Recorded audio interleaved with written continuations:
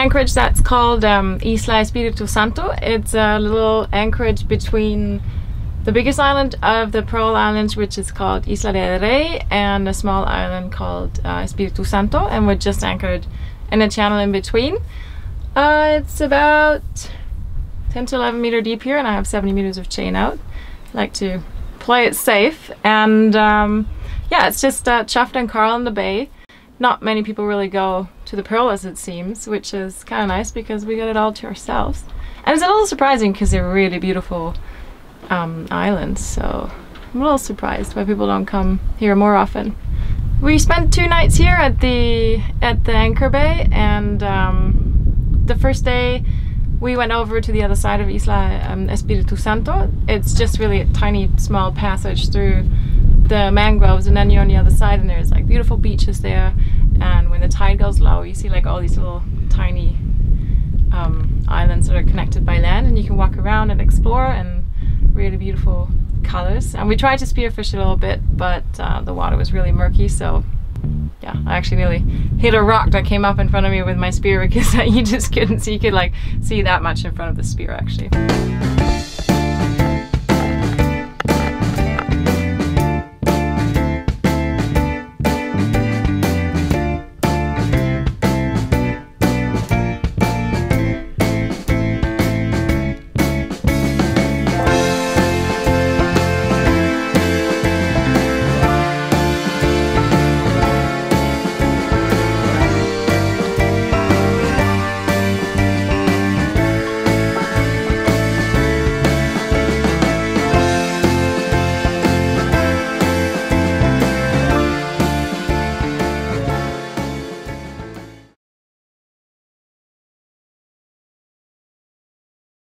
And um, yeah, on the beach, uh, Joel found a, a turtle that was Oh. wrapped up in a fishing net, and she'd been Little thing. she or he had been stuck there for quite a while, so they cut them free of the net. And um. Shetty's actually a vet, and she does um, voluntary veterinary work from the boat. Usually they spay animals on the islands, but also if they find an animal, for example, like this turtle, they try to help them as best as good as they can. Um, they also have a YouTube channel. It's called um, Vet Tails Sailing Chuffed, so check it out. It's really interesting. They do a really awesome job. And they took the turtle back to Chuffed and they built up a little improvised um, operation table, and it was really cool to watch. It was really interesting. Nice. All right, hurry up. Yeah, that's the strong leg. I know. I know. I'm aware of that. This normally should be quite flat or even a little bit uh, convex, but Oh, he's this it's- part yeah, but his is coming really far in, which means he's lost a lot of weight, and he's very dehydrated. So he needs to be Yeah. fattened up, hydrated, surgerized, antibiotic. Hello, Mr. Turtles. Yeah, Yeah. This front bit here. Ooh, look at all Yeah. those goodies. Lots of things. The anesthetic. And then some enrofloxacin, which is an antibiotic. So you need to calculate how much drugs you need to give him for the two kilograms. based on his weight. So, um, especially the anesthetic medication, you need to be fairly accurate, otherwise you can overdose, and then they um, do not wake up properly from it, or they don't go to sleep if you underdose. So, especially turtle.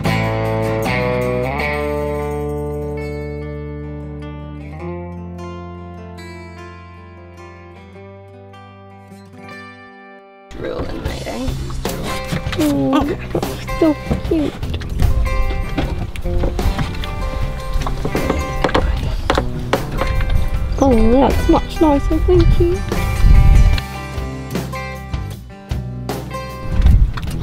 It's gonna twitch a little bit now. Mm, yeah.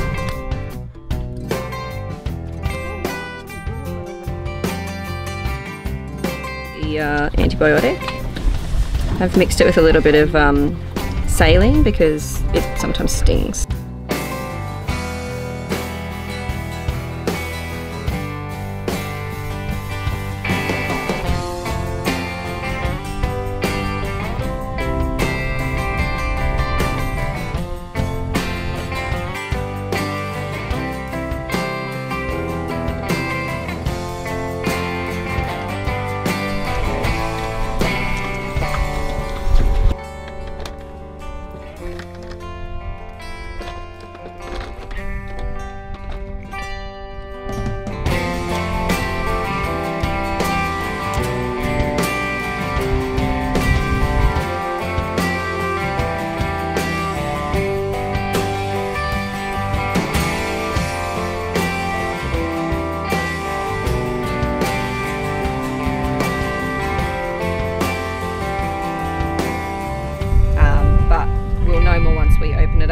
Actually open here a little bit so I can see what this bone's doing, open up here a little bit to try and figure out where this shard's come from and to see whether there's pieces that can actually be aligned.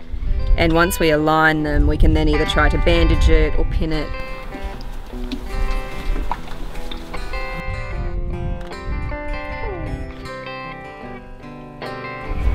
What is the Whoa! best surgery condition? Best surgery conditions ever.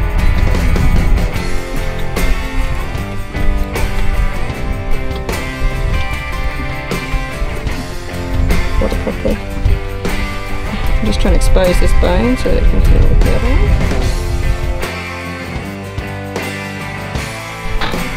You're just gonna shove the needle into the next to the bone and then shove it into the other end. Yep, basically. Just a fun puzzle. This is his main bone, and even if that can just stabilize it, so once I've sutured, the bone doesn't move away from each other, the two pieces of bone, he'll have a much better chance of healing. Whereas without this, if the bone even just sits ever so slightly crooked, it's much, much harder for it to try heal. So when I move down here, it's a bit hard to tell, but you can kind of see that this is rotating. Yeah, and before it was just flopping. Exactly.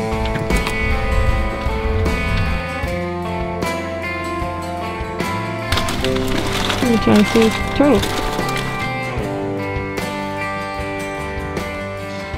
And he's got such thick, tough skin, it'll also help stabilize everything. Yeah, as because well. it helps to keep together. Yeah. You'll be fine. She'll be fine. She'll be right. yeah, I'll be fine. I'll be just fine. Don't worry. I'll do my best. Thank you for saving me.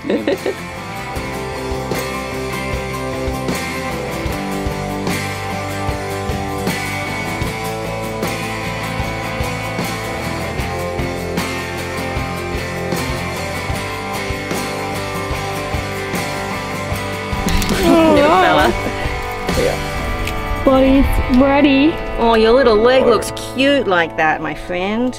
It does. It's all blue.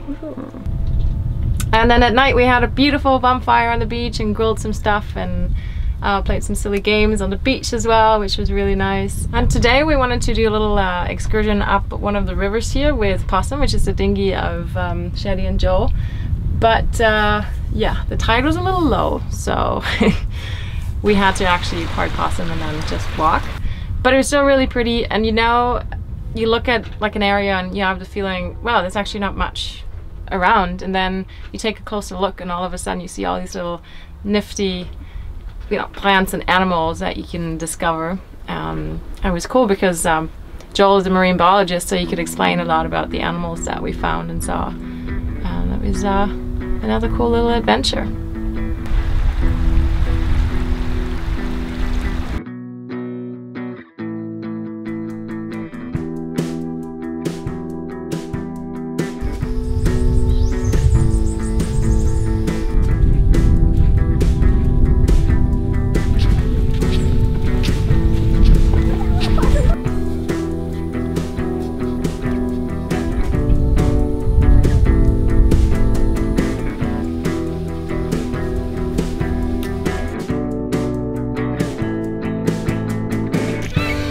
Little parrots. Not good? a little muddy? I think it's mostly just the not knowing if the next step is going to be one on top of the sand or below the sand.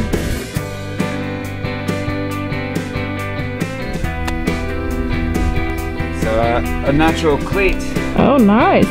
perfect for coming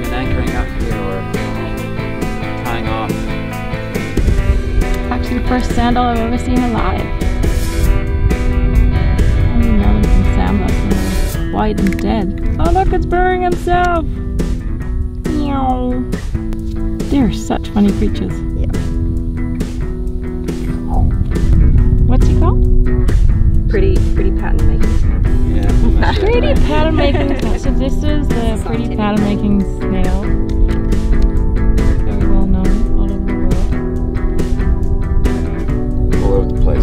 Over here.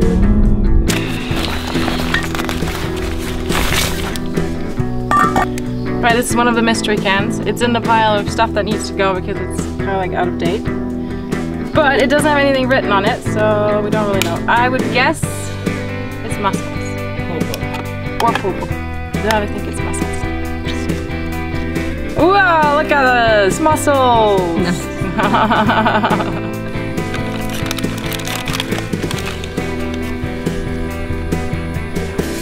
Just gotta wait until the tide comes up so we can move past them easily.